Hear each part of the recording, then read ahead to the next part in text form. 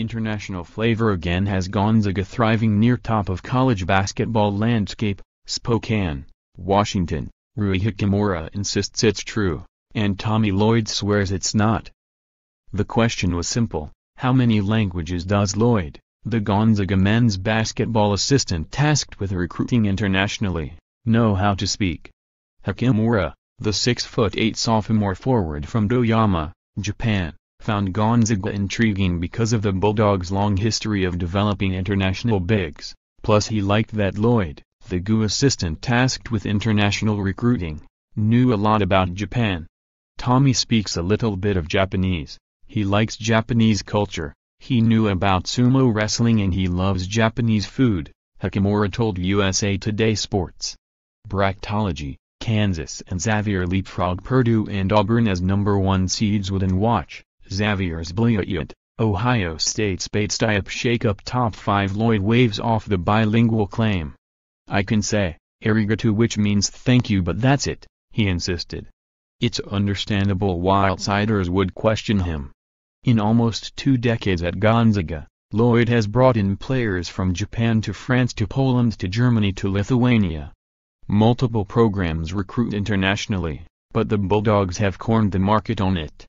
Once a cute Cinderella story, the Zags have grown into a mid-major powerhouse in part because of their love of overseas projects.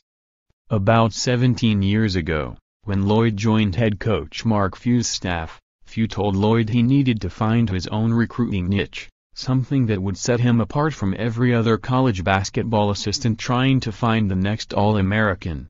So Lloyd, who's been hooked on traveling since his sophomore year of high school after a trip to Sweden and the Netherlands, hopped on a plane I've always tried to look at our international recruits as our opportunity to get McDonald's All-America caliber players, for sure, Lloyd said. The Zags' first real international star was Ronnie Turiaf, the 2005 West Coast Conference Player of the Year, who hailed from France. Since then, Lloyd's brought a slew of international players to the Jesuit school in eastern Washington. All this recruiting success across oceans, and Lloyd swears he only speaks two languages, regular English and broken English. Last season, 7'1 center Przemek Karnowski played a key role in helping Gonzaga advance to its first Final Four. This year, the Zags again have an international feel with Hachimura, Killian Tillie from France and Ayayi and Jacob Larsen of Denmark. The way Gonzaga plays is a really good fit for European players, explained Tillie, who averages 12.2 points and 6.2 rebounds per game for the number 11 Zags, 21-4, who travel to number 12 St. Mary's on Saturday.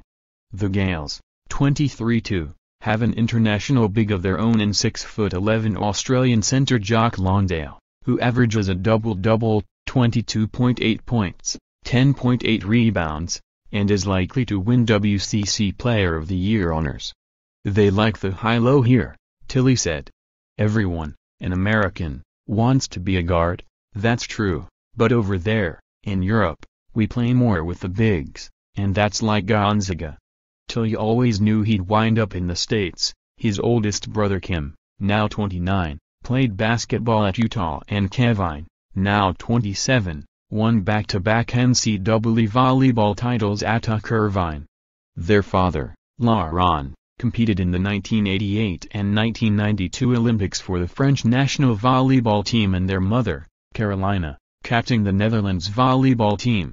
Lloyd estimates he takes two or three international trips a year to scout players. Some college staffs have a protocol where the head coach has to see a prospect play in person before the school will offer him. Few doesn't believe in that. You take one look at Sabonis on tape and it's like yeah, we'll take him. Few laughed. But there's a comfort level, for kids, too. I'll go over there when needed, but Tommy does the bulk of it. When international players come for official visits, the staff will sometimes reach out to a foreign language professor on Gonzaga's campus if they need help translating. Coaches don't feel the needed to totally recreate a foreign culture in Spokane, though Rui will sometimes go over to Lloyd's house for sushi. To be honest, most of these kids that come to the States have a real yearning for the American culture, Lloyd said. They're excited and intrigued by that, and looking forward to making a change. Hachimura is the Zags most intriguing international player. A former baseball pitcher and catcher, he did not participate in martial arts at a competitive level, and jokes that his sumo wrestling experience was limited to playing outside with friends, despite the stereotypes that it's something all Japanese kids want to do. Coaxed by a friend into playing hoops, Hachimura caught the eye of international recruiters after the FIBA U17 World Championships in Dubai in August 2014, where he averaged a tournament-best 22.1 points per game. He picked Gonzaga over offers from Arizona, St. John's, LSU and Vanderbilt, among others. Despite inconsistency, he averages 11.1 points and 4.4 rebounds off the bench but can disappear in big moments. Hachimura is already a certifiable rock star in Japan. Multiple Japanese reporters have traveled to Spokane to profile him, with a Tokyo station compiling a 12-minute video where the letters NBA were plastered across the screen in almost every shot. There has only been one Japanese national in the NBA, Yuta Tabuse, who played just four games with the Phoenix Suns. I wish everybody, fans, media even us coaches at times, could remember the sacrifices these guys made, Few said. This isn't just going from California or Texas or somewhere out of state. You're leaving family, friends, culture and you're totally immersing yourself in this.